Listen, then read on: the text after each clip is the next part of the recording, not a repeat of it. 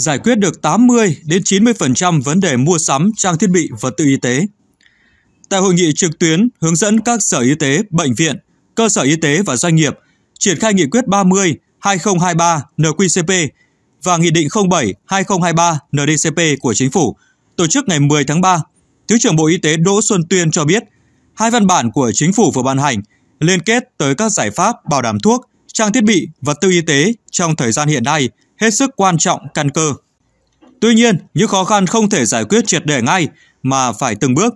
Vì vậy, Bộ Y tế muốn lắng nghe những vướng mắc còn lại trong thực tiễn để tiếp tục ghi nhận và phối hợp với các bộ ngành báo cáo chính phủ. Đại diện Sở Y tế Thanh Hóa cho biết hai văn bản này của chính phủ đã giải quyết trước mắt tình hình mua sắm, đấu thầu trang thiết bị, vật tư y tế tại các cơ sở khám chữa bệnh. Các cơ sở y tế đã dễ dàng thực hiện hơn, đặc biệt là về vấn đề báo giá. Một vấn đề khác, lãnh đạo Sở Y tế Thanh Hóa đề xuất nên tổ chức đàm phán giá với các sinh phẩm hóa chất theo máy vì gần như những sản phẩm này là độc quyền. Nguyên nhân là vì vấn đề này giống như đấu thầu thuốc biệt dừa gốc, các cơ sở rất lo sợ vì chỉ có một loại đã tham gia đấu thầu tại cơ sở là gần như trúng thầu. Đại diện ngành y tế Thanh Hóa nói.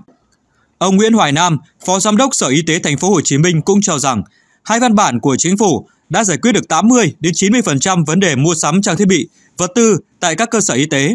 Bên cạnh đó, sau 2 năm chống dịch Covid-19, Thành phố Hồ Chí Minh được tài trợ rất nhiều trang thiết bị và đã phân bổ về các đơn vị. Tuy nhiên, khi sử dụng cho bệnh nhân thì gặp khó khăn trong thanh toán dịch vụ và nghị quyết 30 2023 NQCP cũng đã giải quyết vấn đề này. Lãnh đạo Sở Y tế Thành phố Hồ Chí Minh cũng kiến nghị Bộ Y tế sớm ban hành danh mục trang thiết bị phải kê khai giá vì hiện nay thiết bị nhỏ nhất cũng đang phải kê khai giá. Tại hội nghị, đại diện ngành y tế Quảng Ninh đề nghị Bộ Y tế và các bộ ngành hỗ trợ hướng dẫn cụ thể tình huống nào là cấp bách trong đơn vị y tế.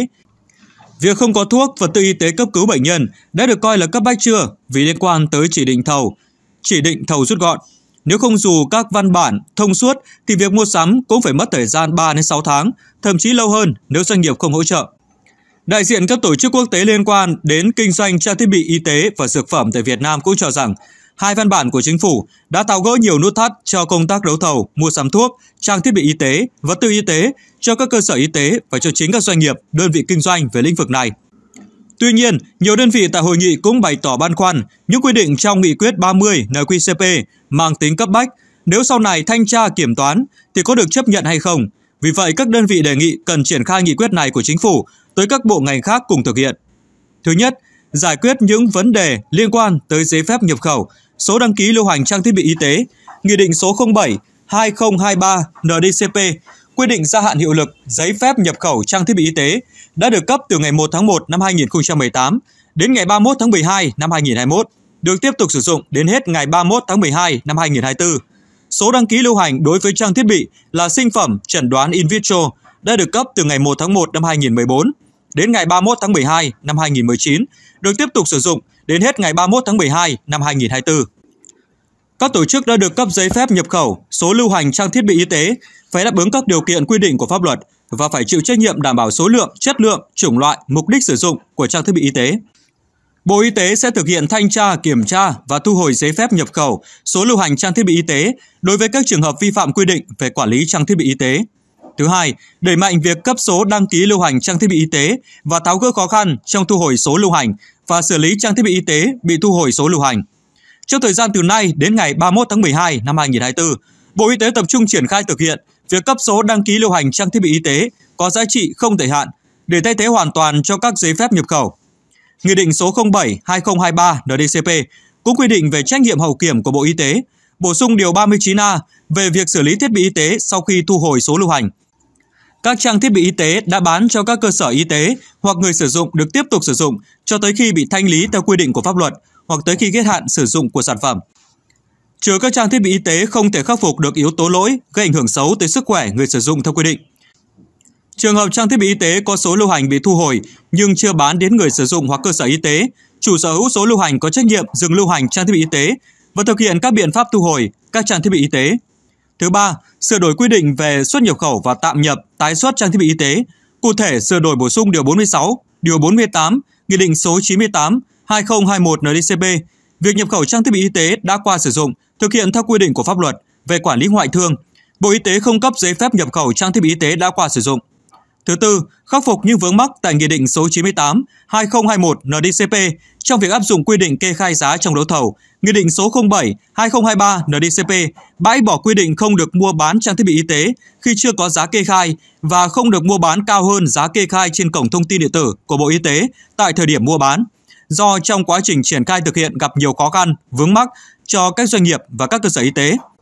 Nghị định số 07/2023 NDCP quy định chỉ thực hiện kê khai giá đối với trang thiết bị y tế khi có biến động bất thường về giá, ảnh hưởng tới nguồn cung trang thiết bị y tế, khả năng chi trả của người mua, khả năng thanh toán của quỹ bảo hiểm y tế. Bộ trưởng Bộ Y tế ban hành, cập nhật, sửa đổi, bổ sung danh mục và nội dung thông tin trang thiết bị y tế phải kê khai giá. Nội dung, hình thức, trình tự thủ tục kê khai giá trang thiết bị y tế thực hiện theo quy định của pháp luật về giá hoặc trên cổng thông tin điện tử của Bộ Y tế. Với nghị quyết 30 NQCP, việc đấu thầu mua sắm trang thiết bị y tế không còn bắt buộc phải tham khảo ba báo giá. Khi xây dựng giá gói thầu, trường hợp cùng một chủng loại thiết bị y tế như có nhiều hãng sản xuất khác nhau, chủ đầu tư xem xét quyết định việc ra hội đồng khoa học của đơn vị thực hiện xây dựng tính năng, cấu hình kỹ thuật theo yêu cầu chuyên môn của đơn vị. Trên cơ sở tính năng, cấu hình kỹ thuật do hội đồng khoa học tổ chức xây dựng, đơn vị tổ chức lấy báo giá theo quy định. Nghị quyết cũng cho phép tiếp tục thanh toán chi phí khám bệnh, chữa bệnh bảo hiểm y tế đối với các dịch vụ kỹ thuật thực hiện bằng máy do nhà thầu cung cấp sau khi trúng thầu vật tư, hóa chất theo kết quả lựa chọn nhà thầu được cấp có thẩm quyền phê duyệt theo quy định của luật đấu thầu. Cụ thể, các hợp đồng được ký trước ngày 5 tháng 11 năm 2022 thực hiện theo thời hạn của hợp đồng, với hợp đồng được ký từ ngày 5 tháng 11 năm 2022 thực hiện tới khi có văn bản quy phạm pháp luật quy định về vấn đề này, bao gồm cả hợp đồng được ký theo hình thức mua sắm trực tiếp. Thưa quý vị, Chính phủ vừa ban hành nghị quyết số 30, nghị quyết chính phủ ngày 4 tháng 3 năm 2023 về việc tiếp tục thực hiện các giải pháp bảo đảm thuốc, trang thiết bị y tế. Nghị định quy định thực hiện niêm yết giá với tất cả trang thiết bị y tế tại các địa điểm quy định của pháp luật về giá hoặc trên cổng thông tin điện tử của Bộ Y tế. Chỉ thực hiện kê khai giá đối với trang thiết bị y tế khi có biến động bất thường về giá, ảnh hưởng đến nguồn cung cấp, khả năng chi trả của người mua, khả năng thanh toán của quỹ bảo hiểm y tế.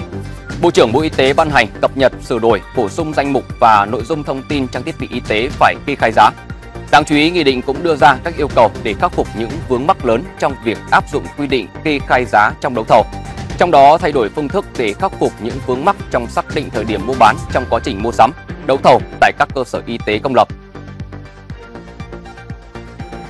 Thưa quý vị, Bảo hiểm xã hội Việt Nam vừa công bố báo cáo về thực hiện các mục tiêu quốc gia về bình đẳng giới năm 2022. Nêu trong tổng số hơn 963.000 người hưởng trợ cấp thất nghiệp thì lao động nữ chiếm tới gần 60%.